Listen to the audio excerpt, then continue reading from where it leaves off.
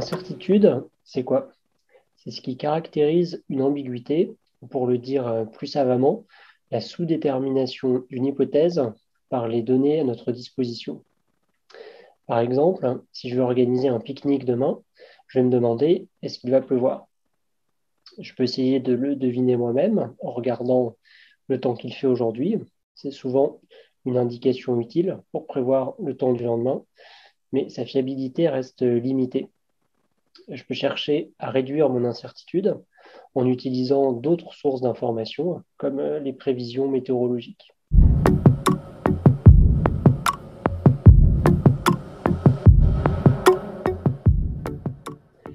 Ce que nous a appris la recherche en psychologie et en neurosciences, c'est que le cerveau évalue et utilise des niveaux d'incertitude tout le temps.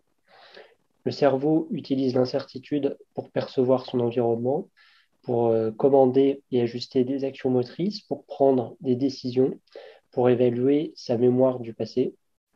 Le plus souvent, c'est inconscient, parce que pour l'essentiel, notre vie mentale est inconsciente. Et les connaissances scientifiques actuelles euh, vont donc clairement à l'opposé d'un message simpliste qu'on entend parfois, qui serait que nous serions très mauvais pour gérer l'incertitude. La réalité, elle est plus nuancée. Notre cerveau a des compétences euh, qui sont réelles en matière d'incertitude, mais ces compétences ont aussi des limites. Je vais détailler deux exemples pour l'illustrer.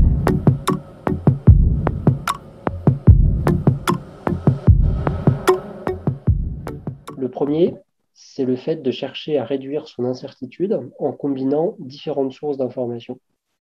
Pour être concret, disons que je viens de rentrer dans un restaurant et que je me demande si je vais bien y manger.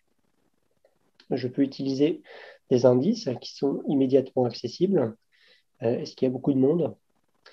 Mais chaque indice est partiellement ambigu. Je peux accumuler les indices pour réduire mon incertitude est-ce que c'est chic? Est-ce que je vois le macaron du Michelin sur la porte? Je peux aussi utiliser euh, des connaissances préalables.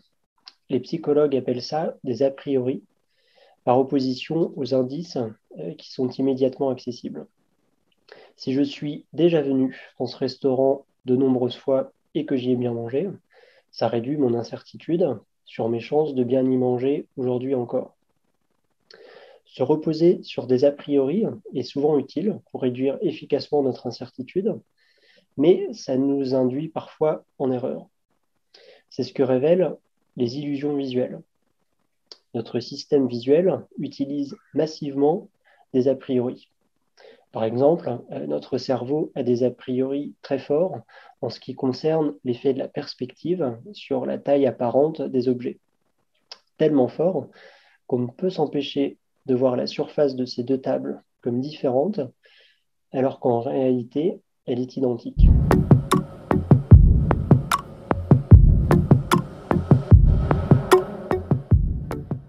Deuxième exemple concerne l'apprentissage. Euh, certains de nos a priori ne sont pas fixés, on peut les mettre à jour. Dans l'exemple du restaurant, euh, c'est grâce à mes visites répétées que je forge mon a priori. Chaque nouvelle visite, et l'occasion de le modifier. Ces modifications répétées, qui constituent un apprentissage, sont modulées par l'incertitude. En tout cas, elles devraient l'être. Si je suis absolument certain, a priori, que c'est un bon restaurant, je vais peu changer d'avis, même si un jour euh, je suis déçu de mon dîner. Je me dirais que c'est un simple accident. Au contraire, si je ne suis pas du tout sûr a priori, euh, par exemple, parce que c'est la première fois que j'y vais, alors un seul dîner me permettra de faire évoluer significativement mon a priori. L'incertitude joue donc un rôle de régulateur dans l'apprentissage. Si on est absolument certain de nos connaissances a priori, on ne les change pas. Et donc, on n'apprend pas. Au contraire, si on doute fortement de nos connaissances a priori, on changera d'avis tout le temps, sans capitaliser véritablement sur le passé, et donc on n'apprend pas non plus. Avoir des niveaux d'incertitude qui sont justes est donc cruciale pour de nombreux aspects de notre vie mentale.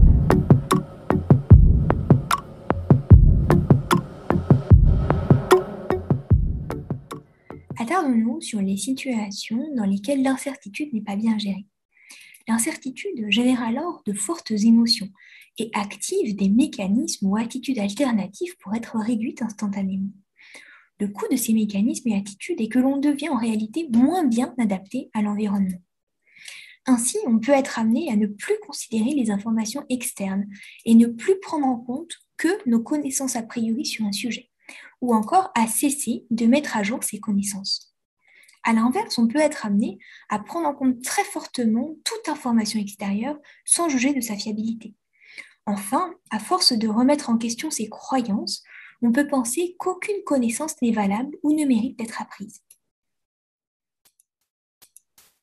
Ces attitudes et mécanismes se révèlent particulièrement dans des situations de doute excessif, lorsqu'une action est nécessaire ou qu'il existe un fort stress ils s'activeront d'autant plus facilement que l'on ne maîtrise pas les techniques de gestion de l'incertitude.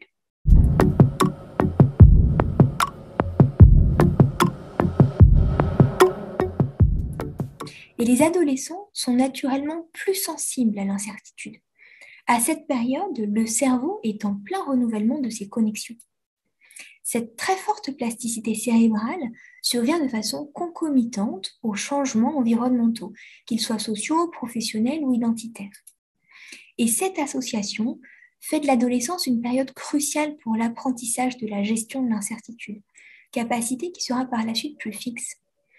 Mais cette concentration de facteurs d'incertitude signifie aussi une vulnérabilité toute particulière aux situations qui comprennent de l'incertitude.